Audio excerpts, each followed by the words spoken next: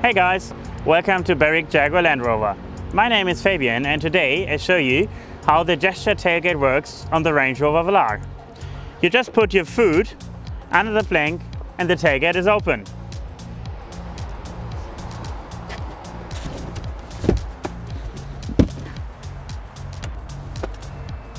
That's it. Thanks for watching our video and follow us on social media to see more videos like this.